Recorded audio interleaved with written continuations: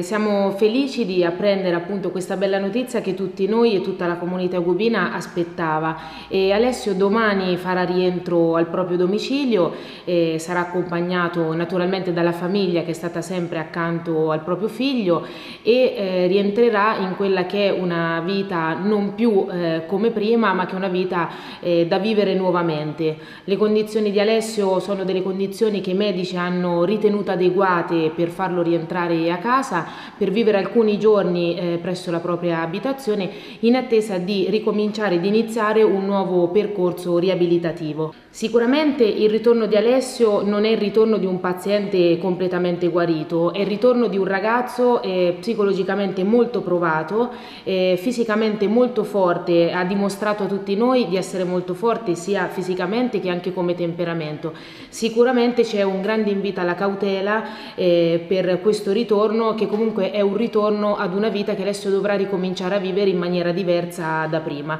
e quindi c'è anche un richiamo al rispetto delle condizioni di un paziente che è in una situazione molto molto delicata.